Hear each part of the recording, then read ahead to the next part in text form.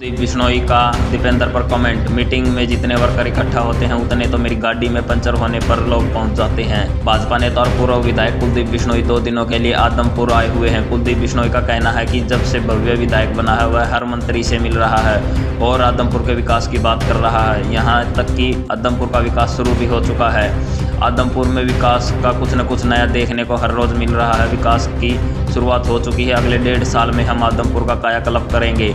आदमपुर में दीपेंद्र की भारत जोड़ो यात्रा के आगमन को लेकर वर्कर मीटिंग पर कटाक्ष करते हुए कुलदीप का कहना है कि जितने मीटिंग में लोग यहाँ पर जुड़ते हैं उतने तो मेरी गाड़ी के टायर पंचर होने पर लोग जुड़ जाते हैं। उन लोगों को आदमपुर से कोई सरोकार नहीं था। मेरे जीवन का सबसे आसान इलेक्शन भव्य का था। विरोधियों के पसीने आदमपुर की जनता ने निकाल दी और हरियाणा के पप्पू दीपेंद्र हुड्डा को फूक मारकर बैठा दिया। वे हार से संतुष्ट हैं तो हम जीत से संतुष्ट हैं।